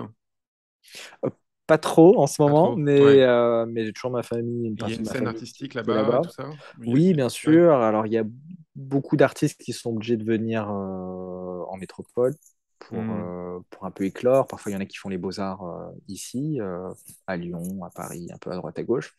mais c'est vrai qu'après, bon, ce, qui, ce qui manque là-bas sur place, c'est c'est un peu un réseau qui puisse montrer quoi, les, les, artistes, les artistes émergents, euh, il y a encore trop peu de lieux, trop peu de réseaux. Euh, il y, a des, y a des choses associatives qui se montent, mais c'est souvent des artistes qui sont euh, à la base de, ces projets. Hmm. Et bah là, l'expo qui, qui, a ouverte à la ferme du Buisson, en parler, ouais. il y a peu. C'est vraiment voilà, une, espèce de vision globale comme ça de, de plusieurs plasticiens qui travaillent le volume. moi, j'y présente des caps, mais mais du coup euh, issus euh, de la Guadeloupe, de la Martinique et d'Haïti. Trop bien. Et alors, je t'ai demandé une peinture de l'histoire de l'art que tu n'aimais pas, que tu ne comprenais pas encore ou que tu rejetais. Et donc là, j'ai choisi, tu m'as dit Georges Mathieu. Donc j'ai choisi un tableau de Georges Mathieu qui s'appelle Combat devant Florence, parce que je trouve ça assez euh, viriliste comme, comme thème, qui date de 1970. Et je suis obligé de glisser une petite, parce que c'est une vidéo que j'adore d'un film sur lui où on le voit en train de peindre. Et évidemment, ça ralentit et tout ça. Il y a du Xenakis, mais là, on va pas le mettre parce que ça va se passer sur YouTube après. Mais euh, voilà, donc Georges Mathieu, cette figure, pourquoi tu. Pourquoi? Et ben, Bon format des 70, euh, oui, plein, plein de pétrole. Ça, plein de pétrole. et puis, euh, et puis voilà, j'ai vu que bon, il était très mis à l'honneur sur Paris Plus avec un ah stand monographique d'une galerie, je ne me rappelle plus le nom, mais hmm. je sais pas, j'ai jamais eu de, de, crush avec ce travail, j'ai jamais compris. Euh, je trouve ça très vieillot, je trouve que c'est une peinture qui respire pas. Euh, et euh, bon, j'aurais pu, j'aurais pu dire Bernard Buffet aussi, mais c'est des peintres voilà, qui m'intéressent pas trop. Mmh. Dans un autre style, hein, Bernard Buffet, mais, mais c'est marrant, hein, des fois on a des, on a des choses comme ça, on ne on peut pas. quoi. Et ça fait depuis déjà plusieurs décennies maintenant, donc c'est, je ne sais pas si je, comprendrai un jour. Euh, parfois, il y a des choses que j'aime pas et que je comprends. Euh, là, j'ai du mal euh, et à apprécier et à comprendre. Mais bon. Et est-ce qu'il n'y a pas quelque chose de l'ordre du formel enfin, Il cherche à peindre comme ça l'énergie. Enfin, mhm. Je vous conseille ses écrits. Ses écrits sont complètement fous. Hein. C'est vraiment passionnant à lire. Enfin, moi, mhm. j'en ai, lu beaucoup parce que je trouve ça vraiment trop sale et trop drôle à, lire. mais, le, parce il, se, il, se, décrit comme l'aboutissement du l'histoire de l'art. Enfin, bon, il, mais le, le, fait que ça soit aussi formel, c'est-à-dire que finalement, il y a, c'est, de la peinture, et puis il y a ce, ce truc de vitalisme, et puis c'est tout. C'est quelque chose qui te met mal à l'aise de... Peut-être. En fait, moi, j'ai même un, vrai souci formel, c'est que le, les tableaux en eux-mêmes me, me, rendent inconfortable. Mmh. et puis, effectivement, comme tu dis, c'est vrai que dans le fond, j'ai du mal à, être très nourri quoi, par, par le sujet même. Quoi. Mmh. Pourtant, j'adore Jackson Pollock. Voilà, j'adore le color field américain. J'ai rien contre l'abstraction, mais c'est marrant, ce, ce, peintre-là, j'ai du mal. Quoi. Très bien. Et on rappelle qu'il avait fait la pièce de 10 francs quand on était petit. Enfin, je sais pas si tu t'en souviens, mais il y, avait une pièce de 10 francs ou bah non, on s'en souvient pas, je suis beaucoup trop. Non, mais non, on n'est pas, on est pas si, si. Non, non, attends. J'ai connu les francs, moi. Euh... il y avait une pièce de 10 francs. Qui non, était la pièce de en fait, je suis en train de réfléchir à la pièce de, de 10 francs, mais je ne me rappelle plus de, de, de, Mathieu. Euh, alors, je t'ai demandé une œuvre qui a nourri ta pratique, et là, tu m'as proposé un film de Marcel Camus, qui a eu la Palme d'Or au Festival de Cannes en 1959, qui s'appelle Orphée Negro. Euh, est-ce que tu veux nous en parler? Ça, ça, se passe au Brésil, mais c'est un, un Français qui l'a réalisé. Alors, c'est un Français qui l'a réalisé. Je crois qu'à l'époque, il était euh, marié au premier rôle, qui est une actrice afro-américaine. Marpessa Dawn. Marpessa Dawn, qui est une femme très belle, très. Que j'ai connue à la fin de sa vie en France, parce qu'elle, du coup, elle a, elle a elle a un rapport très particulier avec la France parce qu'elle était euh, à cette période euh, basée à Paris. Quand il a été tourné en 1959, le film. Et ce qui m'a intéressé, c'est en fait euh, plusieurs choses. Déjà, l'idée, le, concept du, film, qui est de s'approprier un, mythe grec et de le donc et Orphée, une histoire d'amour, et de le ouais, de le faire exister dans un temps contemporain euh, de l'époque, euh, au moment du carnaval, dans les favelas de Rio. Donc il y a vraiment une espèce de euh, transfuge de lieux, de temps qui, qui m'intéressent. Ça, c'est des choses bon, qui, dans mon travail, sont assez présentes, le fait de jouer comme ça sur les temporalités, les géographies. Euh, donc ça, euh, puis en plus, bon, c'est une très belle œuvre cinématographique, je la conseille hein, pour ceux qui l'ont pas vu, c'est vraiment. Mmh, on voit des images là de. c'est vraiment un film, euh, un film magnifique. Et puis à la fois formellement, effectivement, ce, bah, ce rapport au carnaval, ce, de d'excitation aussi au moment du carnaval, ce, ces répétitions de groupe dans le quartier de la favela. ce côté, ce rapport collectif, euh, en plus, bon, ça c'est vraiment un rapport très euh, basique, euh, formel avec mes portraits de cours, mais les habitants de la favela qui sont dans le groupe de musique sont habillés avec des tenues voilà, de cours français, des, coiffures de Marie-Antoinette. donc voilà, plastiquement, musicalement, le fait de réinventer un mythe, tout ça m'a intéressé beaucoup. Et puis, euh, peut-être que d'avoir rencontré Marpessa a été aussi un, des, une des raisons. Euh, mais euh, j'en ai fait d'ailleurs à l'expo de la ferme du Buisson, il y a une cape qui est une cape de Redis. Et c'est un hommage à la fois à l'actrice et, et, au personnage mythologique. donc voilà, c'est pour toutes ces raisons que cette œuvre est importante dans, dans ma trajectoire. Et tu l'as vu quand ce, film? Au début des Beaux-Arts. Euh, je crois qu'il m'a hmm. été conseillé. En fait, j'ai rencontré euh, Marpessa Down tout petit peu avant de rentrer aux Beaux-Arts, plutôt dans un circuit militant euh, afro-américain, etc. Et, et, en fait, un ami acteur qui militait avec moi à l'époque euh, me dit mais cette femme je la connais je l'ai déjà vue quelque part. En fait c'était Marpé Sadan il avait reconnu son visage. Et en fait à partir de là il est venu un dialogue etc et c'était c'était assez drôle. Quand tu étais militante tu étais militante dans quoi? En fait je, je me suis occupé d'un d'un journaliste afro-américain qui s'appelle Moumia Abou Jamal euh, pendant des années mm-hmm. pour essayer de demander euh, un nouveau procès. C'est quelqu'un qui a été condamné pour meurtre euh, dans des ouais dans des dans des comment dire? Dans des circonstances très très bizarres, euh, vraiment, donc le, il est incarcéré dans les débuts des années 80, donc euh, il est en prison depuis avant ma naissance, il est toujours en prison aujourd'hui. Mmh. et en fait, moi, ça m'a permis de, de, mieux comprendre aussi le certain acharnement bah, que, que, la droite un peu extrême aux États-Unis faisait contre certains milieux militants. Donc c'est vrai que j'ai découvert comme ça à la fois des luttes d'Amérindiens, de, d'Afro-Américains, et, le fait de, d'essayer de se battre pour, pour sa liberté et puis pour, pour un nouveau procès, euh, ça m'a fait euh, euh, connaître, on va dire, tout un milieu militant en France et aux États-Unis et sur ces questions-là. Et, et, du coup, voilà, j'ai rencontré Angela Davis, Kathleen Cleaver, des anciens Black Panther, tout ça. Donc, du coup, ça m'a, ça m'a, ça a été assez fondateur dans mon, dans mon parcours parce que du coup, c'est c'est des moments forts, c'est des gens très intéressants souvent, très impressionnants et ça forme quoi. Surtout quand on a 18-20 ans. Donc, voilà. Et là, aujourd'hui, tu, tu, tu, milites, tu, milites, toujours ou, as, ou... Je, peux, je milite plus trop de façon intensive, enfin, parce que j'ai pas forcément le temps. Euh, et, mais par contre, bon, ben, j'ai d'autres formes de d'engagement, on va dire. Très bien. Et alors, je t'ai demandé un livre sur l'art qui t'avait influencé, et tu m'as proposé un livre qui s'appelle Le Black Odyssey de Romare Bearden, qui est un artiste peintre et écrivain afro-américain aussi. Je crois qu'il est né en 1911, hein. il était, enfin c'est un peu plus ancien. Est-ce que tu peux nous en parler?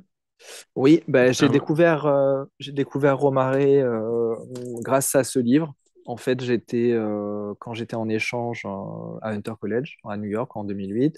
Hmm. J'étais au Whitney Museum à l'époque où il était encore dans le bâtiment brutaliste là sur Madison Avenue et au bookstore, je, trouve ce livre en promotion. Je me dis tiens c'est marrant, j'ouvre le truc. Je me dis waouh c'est super beau. Donc essentiellement des collages. un peu des collages à la Matisse, donc c'est des, des, gouaches, des couleurs peintes qui, qui peint la gouache, ensuite il redécoupe.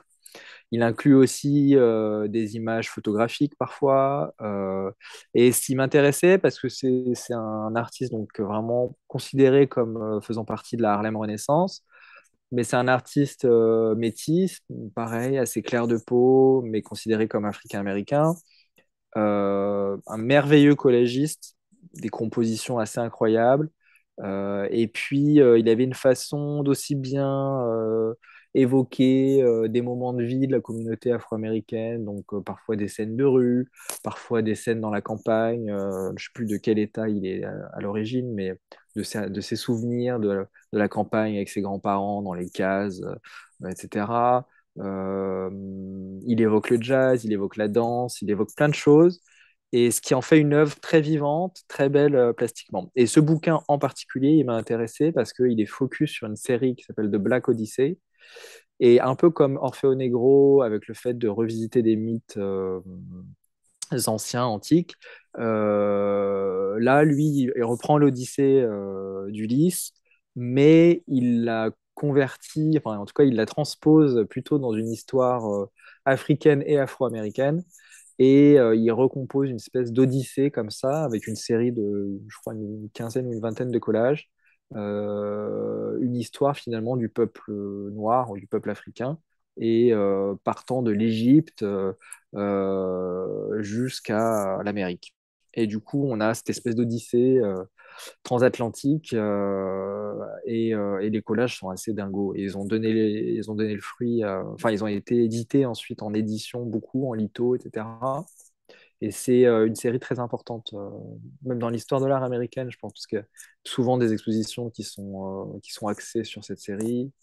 Et puis Romare Bierdan, bon, avant que je le, je le, je le connaisse, enfin, que, je le, que je le découvre, euh, c'est vraiment un artiste qui est très très regardé aux États-Unis, euh, par aussi bien les jeunes artistes que hmm. par des historiens, que par des universitaires.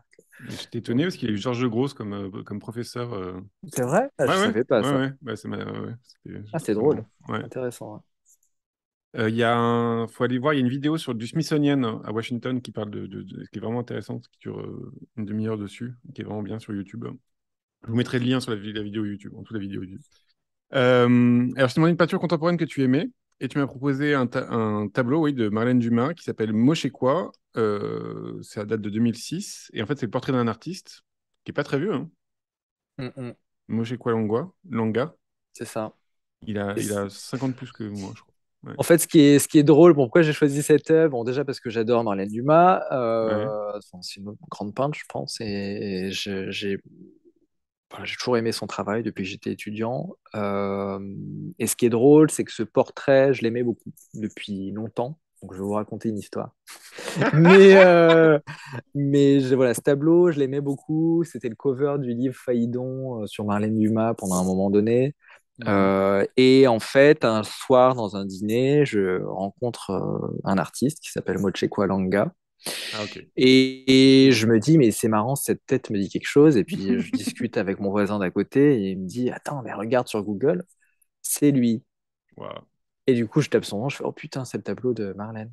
Et ce tableau a été montré d'ailleurs il n'y a pas longtemps au musée d'Orsay quand elle a eu euh, une, sorte d'inclusion dans, les collections euh, à Orsay. Et, euh, en fait, quoi c'est un ami, c'est un très bon ami euh, sud-africain, basé entre Johannesburg et Amsterdam. Donc c'est marrant parce que c'est à la fois une histoire d'amitié, on, se, on, se, suit depuis longtemps, on suit nos, nos, nos, productions.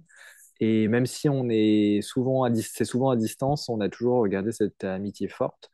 Et, et puis avec euh, euh, ce, beau tableau de Marlène Dumas. Donc c'est un peu le symbole euh, d'une amitié, quoi.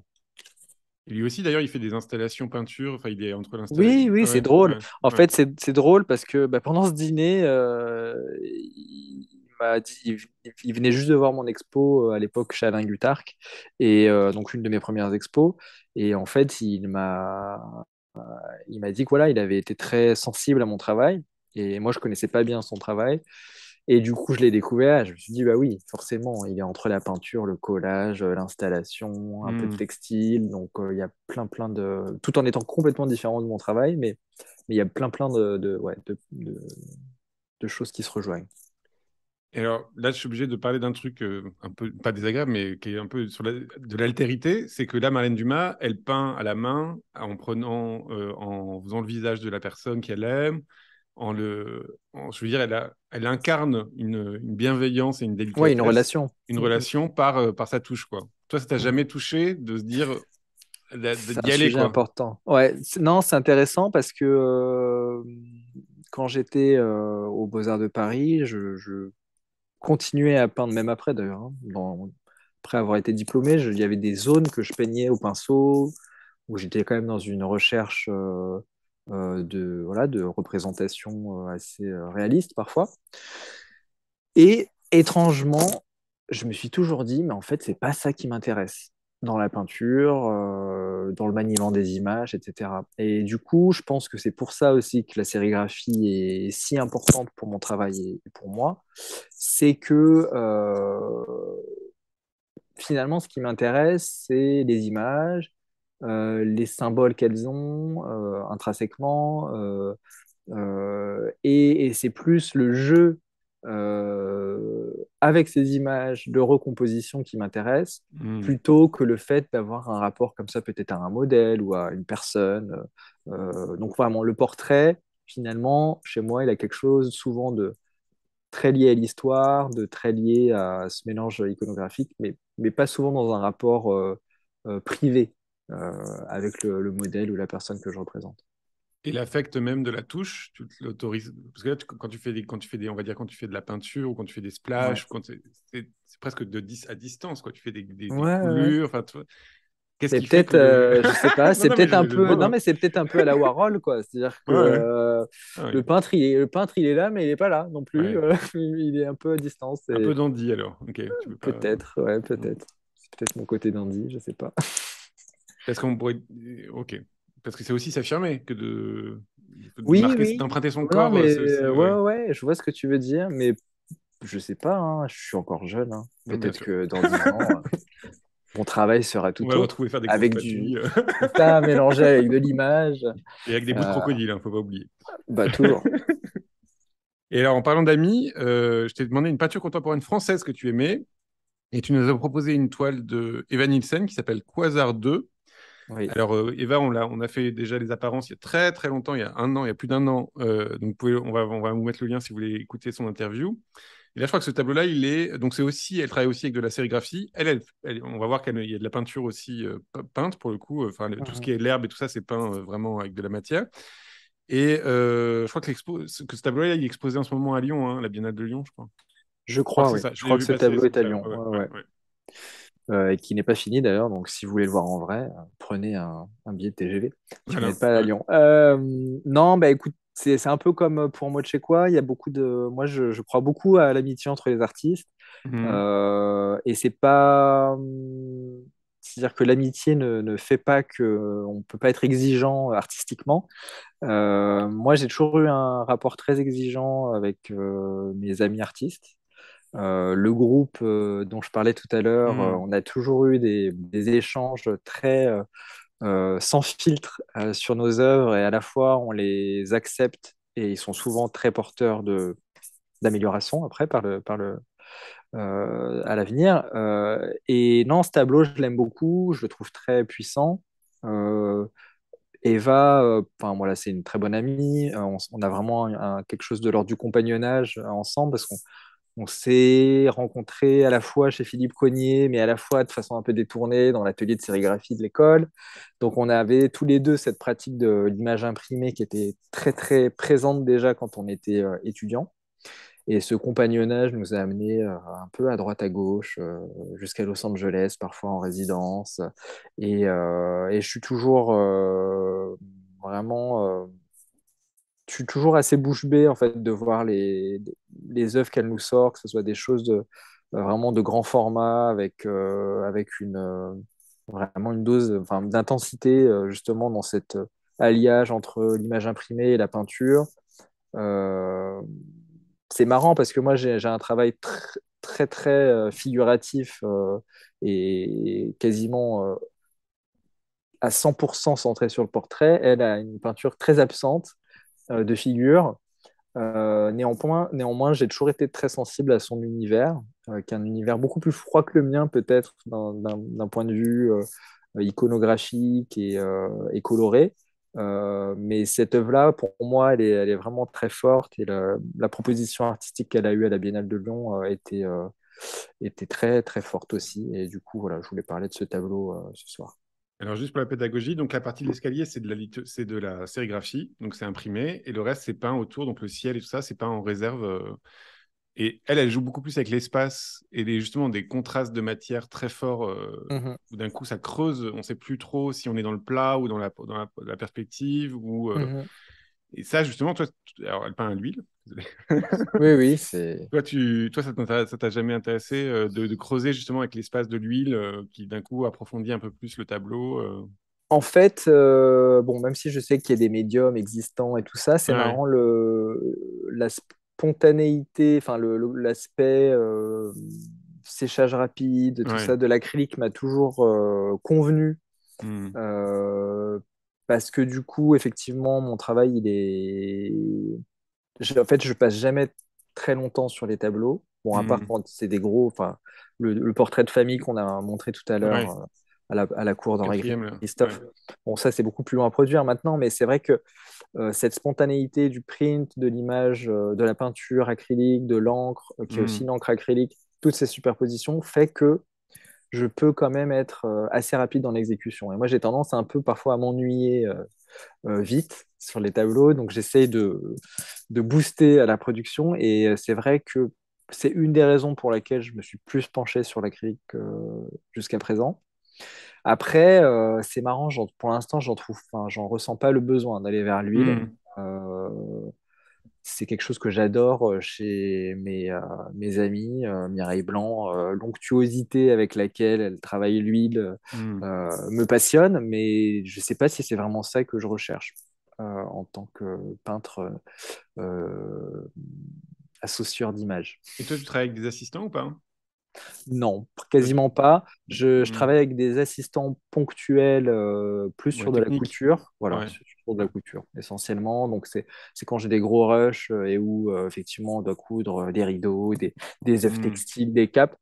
là, effectivement, je fais appel à des, des, assistants ponctuels qui sont souvent des anciens stagiaires. et sinon, tout, tout, ce qui est peinture, sérigraphie, je fais tout ça tout seul. On m'a souvent posé la question, mais pourquoi tu prends pas d'assistant? C'est marrant, j'ai toujours un rapport très personnel finalement avec ma production. Et puis il y a la sensation quand même, il y a, pour le coup, bah oui, oui, oui. il y a plein de choses. Bah, clairement, la sérigraphie, par exemple, la sérigraphie, c'est, enfin, la sérigraphie, il y a quasiment mm. ouais, 15, 15, 15 ans d'expérience qui fait que si tu arrives une tuile pendant le print, tu peux réagir, tu peux, as l'expérience de, de, de, jouer aussi avec la technique. Mm. Et de donner ça à des, des, jeunes qui sortent d'école euh, et qui n'ont pas forcément cette expérience, pour moi, c'est inconcevable. Euh, et je ne pense pas que je le laisserais euh, à quelqu'un. enfin voilà, à part peut-être sur du print, sérigraphie, sur tissu ou des choses qui sont de l'ordre d'un peu de l'édition, des choses comme ça. Mais, mais en tout cas, voilà, je fais quasiment toute ma production seule. Et même quand il s'agit de couture, je peux y trouver un intérêt parce que quand j'étais en résidence à Singapour et que j'ai eu des moments de, confinement, comme tout le monde quasiment, euh, bah, j'ai un certain nombre de mes pièces portables euh, que j'ai cousues, conçues euh, quand j'étais en confinement dans mon, mmh appartement. Donc j'y trouve aussi un jeu, un intérêt. Et la monumentalité, ça t'intéresserait ou pas? Il y a vraiment des choses. Euh, parce que Alors, on pourrait imaginer que tu pourrais faire une grande bâche euh, à la place du Louvre, là, à la place d'une grande pub débile, on pourrait avoir une grande œuvre de Raphaël, Barontini. Oui, c'est tout à fait. Euh, bah, J'ai déjà des œuvres qui sont relativement grandes, si on parle d'échelle de, peinture. Le plus grand que j'ai fait, je crois que c'était 15 mètres de long sur 2,50 de haut. C'est pièce mmh. textile. Euh, le, textile me permet d'aller beaucoup plus loin. Mais par hmm. exemple, tu vois, euh, en peinture tableau sur toile, c'est vrai que là, j'imagine, je commence à imaginer des projets qui pourraient être même encore plus gros que celui que j'ai présenté euh, à Paris Plus, qui était hmm. à la cour d'Henri Christophe. On est à 3 mètres, mais en fait, je pourrais doubler, je pourrais faire 6, je pourrais faire hmm. plus. Donc, après, il faut avoir l'écrin pour les montrer, mais, mais c'est, en tout cas, ça m'intéresse. Trop bien. Alors, on va parler un petit peu de ton actu. Mhm. Première actu, il y a donc cette exposition des grains de poussière sur la mer qui est à la ferme du Buisson. C'est jusqu'au 29 janvier. Et donc ça, c'est sur la sculpture contemporaine des Caraïbes françaises et Haïti, c'est ça hein? C'est ça. C'est une expo qui a beaucoup voyagé, qui a fait plusieurs stops aux États-Unis, dans centre d'art, musée, et qui est arrivé en France. Et euh, là, on est au, à la deuxième, au deuxième stop en France. Donc c'est la ferme du Buisson Noiselle. Sinon, il y a une exposition qui s'appelle Enivrez-vous. Ça commence le 5 novembre. C'est Galerie Pras de la... J'adore faire ça, hein, je suis désolé. c'est Galerie, 5... Galerie Pras de la Valade, euh, un commissariat de René-Julien Praz, et c'est 5 rue des Audriettes. Et ça, c'est avec plein d'artistes, c'est ça? Il y a Maud Maris notamment, j'ai vu. Maud Maris, euh, Soufiana Babri, euh, Martin Margiela, on a plein de gens intéressants. Ouais. Et enfin, une exposition au Chète de Pantin euh, qui commence. Alors, ça commence ou elle finit, le, elle finit le 19 novembre. Voilà, elle, est déjà, elle est déjà en cours et c'est euh, l'exposition inaugurale des Chètes de Pantin, donc un nouveau centre d'art qui vient d'ouvrir à Pantin, et euh, très axé sur l'histoire textile de l'endroit, parce que c'était une ancienne usine textile. Et Marion Zillo, la, la curatrice de l'expo, a associé des œuvres, des installations qui ont beaucoup de rapports au textile euh, et, notamment à l'aspect politique que le textile peut, euh, peut questionner. Quoi. Et toi, tu travailles, tu travailles encore avec la mode ou pas? Parce que tu as, travaillé, enfin, as fait une résidence LVMH. Alors, j'ai fait une résidence LVMH, mais qui était vraiment très ouverte. Et hmm. du coup, c'était pas réellement travailler avec la mode. C'est-à-dire que en fait, j'utilisais les outils de la mode, mais finalement, j'avais aucun devoir hmm. de créer quelque chose qui ressemble à de la mode. Donc c'était très libre. On a eu un, euh, enfin, les différents euh, résidents de cette résidence savent que euh, c'est très très libre comme, comme attente. après, j'ai jamais vraiment travaillé avec des maisons ou des marques. Mmh, peut-être dans le futur, je ne sais pas. Mais, mais en tout cas, pour l'instant, c'est n'est pas d'actualité. Alors, j'ai vu quelques questions passer, dont des questions de Ateco 149 qui me fait plaisir parce que c'est quelqu'un qui m'a écrit, on s'est parlé, voilà. On était très content de t'inviter à deux. Il m'a poussé, à t'inviter. Euh, donc, euh, euh, Nice, est-ce que tu peux nous. je demande à notre réalisateur Nice s'il peut poser des questions. Oui, on va commencer par la question de Ateco.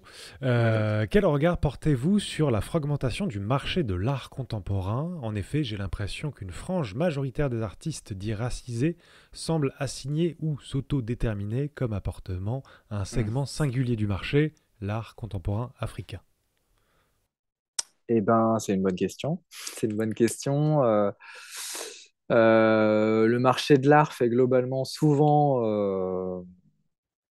euh, parfois mal à, certains artistes euh, parce que bah, forcément ça rentre dans des niches commerciales, ça, ça répond à des codes euh, du moment. Et même si euh, l'avènement de la scène africaine elle était absolument importante parce qu'il y avait une sous-représentation de ce qui se faisait sur le continent et puis tous les artistes des diasporas euh, afro-descendants, comme on dit. Donc, euh, c'est vrai que, par exemple, aux États-Unis, il y avait un premier mouvement quand même avec une scène afro-américaine qui était depuis un peu plus longue date sur le devant de la scène. On commence simplement depuis quelques années à, voir ces artistes afro-américains qui franchissent maintenant le, le cap d'être montrés ailleurs, donc en Europe et ailleurs. Euh, sur la scène africaine, il y avait quand même beaucoup de manques et c'est vrai que c'était souvent avec un regard très occidental sur ces artistes-là. Euh, donc, pour revenir à la question, euh, ce moment-là, il est nécessaire parce qu'il faut qu'il y ait plus de place pour ces artistes, pour ces scènes. C'est absolument nécessaire. En revanche, c'est vrai que d'être assigné par un marché qui, notamment sur les questions de figuration, par exemple, euh, euh, devient quasiment euh, fou, quoi, parce qu'on a des artistes qui faisaient de, la peinture abstraite il y a cinq ans qui se mettent à faire de la figuration et on comprend très vite que c'est l'appât du gain qui les, qui les intéresse. je ne citerai pas de nom, bien sûr, mais, mais je l'ai vu, ça aussi, par exemple, pour les jeunes artistes, quand on est jeune artiste, on a besoin d'un moment euh, expérimenter des choses, de pas forcément être sur euh, les attentes du marché. Et euh, moi, je suis très content de ne pas avoir eu une galerie tout de suite en sortant de mmh l'école. Je suis très content d'avoir eu un peu une carrière un peu en crescendo et, et, d'avoir des opportunités après 5, parfois 10 ans sortis de l'école, parce que finalement, j'ai eu ce temps où j'ai pu expérimenter, faire des choses, des choses pas bonnes, des choses meilleures. Mmh. Euh, et, ce temps d'infusion, il est important quand on est artiste. On n'a on pas besoin de sortir de l'école et d'être tout de suite dans le système des galeries et de tout de suite vendre. Si certains sont prêts. Ce qui se passe aujourd'hui. Hein. Mais, euh, oui, bah oui, oui, mais voilà. Après, il y en a qui sont plus prêts que d'autres. Moi, je sais que quand j'ai été diplômé, euh, j'étais pas prêt, j'étais pas mûr à être mmh. livré comme ça au marché de l'art. J'en connais qui l'étaient. Euh, pourtant, on avait le même âge. Donc, ça dépend vraiment de toutes les. Enfin, je trouve que les carrières artistiques sont toujours très singulières. Euh, c'est très différent d'une personne à l'autre, parce qu'il y a aussi plein de choses. Enfin, quand là, vous avez écouté, vous avez vu que, par exemple, mon rapport aux États-Unis, il est très particulier. Ça va pas être la même chose pour un autre artiste. Euh, on, voilà, on se construit tous différemment. Après, si, pour répondre à, enfin, pour continuer à répondre à la question, c'est ton cas et que euh, tu penses qu'il faut euh, peut-être répondre ou pas à ces demandes du marché, euh, moi je dirais que surtout pas. On a des artistes, des artistes noirs qui font de l'abstraction. Moi j'ai un artiste que j'adore qui s'appelle Sam Gilliam, qui est un artiste abstrait africain-américain et qui a eu une reconnaissance très tard, très tardive, qui était connue mais pas beaucoup et bon on le montrait pas beaucoup. Et puis là le pauvre, il a dû attendre qu'il soit, euh, je sais pas comment on dit, nonagénaire, je sais pas, mmh. plus de 90 ans pour, euh, pour avoir une rétrospective pendant Basel qui a redonné euh, un élan à sa carrière. Et on se dit, voilà, il mérite, lui, son travail d'être exposé depuis bien longtemps. Et ben voilà, c'était un peintre abstrait, il était dans son travail, même s'il avait peut-être une, une, approche du color field euh, peut-être plus politique ou, différente, il n'avait pas besoin de euh, faire de la figuration, il n'avait pas besoin de, répondre à des codes euh, précis. Donc, je pense qu'on peut parler de, même de thématiques parfois en étant dans le conceptuel, dans, dans des choses complètement autres que forcément les sirènes du marché actuel. Et tu ferais une distinction entre ce qui se passe aux États-Unis? Il y a quand même une grosse distinction. Je ne vais pas le faire comme ça. je reformule. Euh, il y a quand même une grande distinction entre ce qui se passe aux États-Unis pour les artistes, les artistes noirs et ce qui se passe en France. J'ai l'impression que les artistes noirs aux États-Unis, il y a beaucoup plus, euh, ils sont beaucoup plus organisés, beaucoup plus groupes, quoi. Alors, ce qui est vrai, c'est que les, de force, quoi. les, artistes euh, afro-américains, par exemple, sont beaucoup plus solidaires. Mm. Ça, c'est certain. je dirais peut-être même que les communautés artistiques aux États-Unis sont globalement plus solidaire. Euh, moi, c'était une des surprises que j'ai eues quand j'étais étudiant à New York, c'est de voir que dans les vernissages, on retrouverait euh, euh, des danseurs contemporains, des poètes, des rappeurs, et tout ça se, se, retrouvait dans les vernissages. À Paris, on n'a enfin, jamais vraiment vu des, des, des, mélanges comme ça, pluridisciplinaires, des crossovers pluridisciplinaires, mmh. pluricommunautaires, générationnels, etc. Ça, c'est des choses vraiment que je vivais aux États-Unis. Donc ça, c'est clair que les scènes sont complètement différentes. Euh, et attends, pour répondre, tu me reviens sur ta question. Non, mais c'est comparer les États-Unis et la France, quoi. Oui, oui, c'est ça.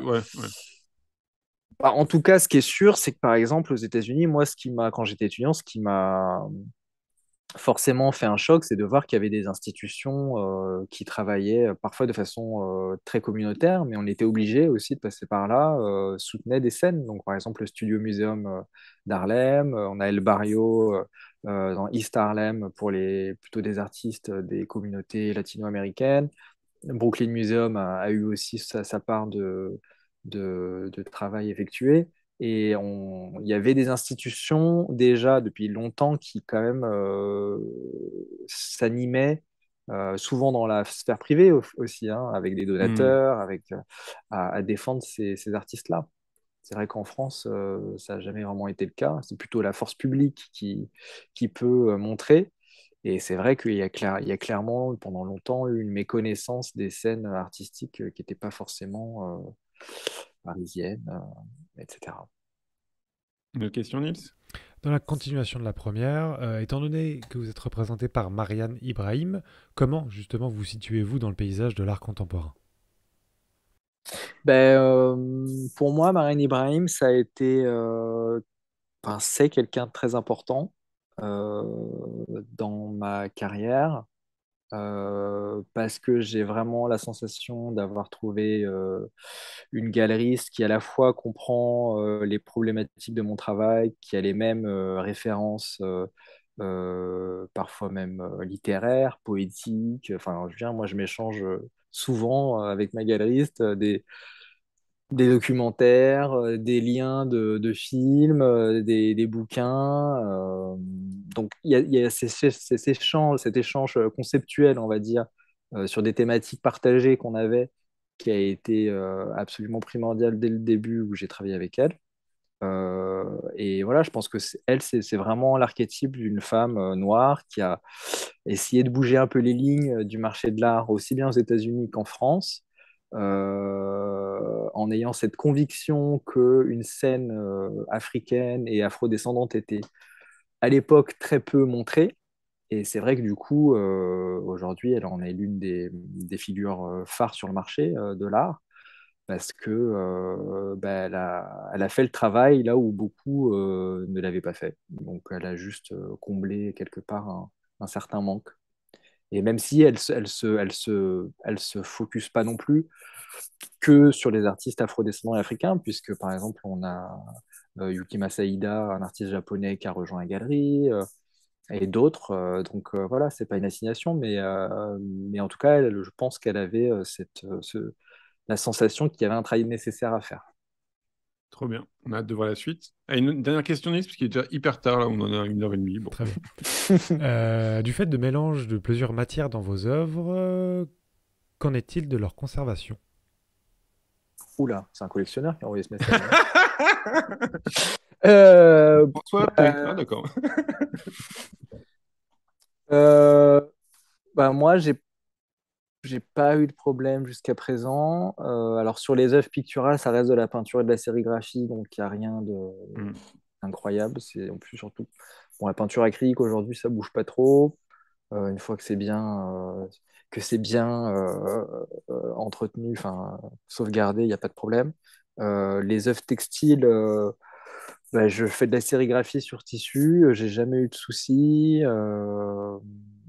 Honnêtement, bah, je verrai quand j'aurai 90 ans. Je, mm. je, verrai comment mes œuvres textiles peut-être ont évolué. C'est peut-être le type d'œuvre euh, où euh, je me. Ça doit prendre la poussière quand même. Oui, voilà, bah, on les met dans des, dans des caisses américaines vitrées. Euh, voilà, non, non, je pense, je pense, enfin, je sais pas, j'ai pas la, j'ai pas le recul pour répondre à la question, mais a priori, mmh. tant que c'est que c'est des œuvres pas mises au soleil, dans des états de conservation assez acceptables, il n'y a pas de, raison. et, et, pour toi, c'est important la postérité, le fait que ça dure. Pas forcément, hein, pas forcément. On est, euh, on est peu sur cette terre, donc euh, euh, après, bon, je, me, je, me, mets dans la peau de si la terre est encore vivable dans quelques décennies, dans la peau d'un jeune artiste ou d'un jeune étudiant en art qui a envie de voir des œuvres à peu près en bon état. Effectivement, ça peut être sympa de voir, comme aujourd'hui, on, on, va visiter une peinture de la Renaissance, on est content d'en voir une super bien restaurée au Louvre, qui est trop belle, quoi. Donc, euh, c'est plus ça la postérité, c'est pas, c'est trop un rapport d'ego, quoi. C'est plus ça. Non, mais quand je dis un rapport d'ego, c'est un rapport de sens aussi. C'est-à-dire de se dire. Non, non, bah, bien sûr, bien sûr. Non, mais je veux dire. Je pas, pas, un truc d'ego, c'était plus un truc de. Bah, en fait, je le fais parce que je veux que ça dure euh, et que ça, ça parle. Euh, est-ce que mon œuvre parle dans son temps ou pas Enfin voilà. Bah, ça, ça, ça m'intéresse, vu l'aspect en plus historique de, mon travail. Voilà. tout à fait. tu inventes quand même un narratif, donc tu as envie que ce narratif il gagne, on va dire presque. C'est vrai, c'est vrai. Non? Si, si, si, complètement. Eh ben, merci beaucoup, Raphaël. C'était passionnant. C'était vraiment très intéressant. Merci, à, à, nous, à, nos, aux gens qui nous suivent. Merci à notre réalisateur Nils. Et puis, normalement, on se retrouve dimanche prochain, mais j'ose plus rien dire parce que maintenant, je fais des promesses et après, je ne les tiens plus. Donc euh, voilà, abonnez-vous à la chaîne YouTube, vous verrez. Et puis donc, vous pouvez retrouver la vidéo sur la chaîne YouTube euh, dès dans une heure. Merci à tous et bonne, bonne soirée. Merci. Merci.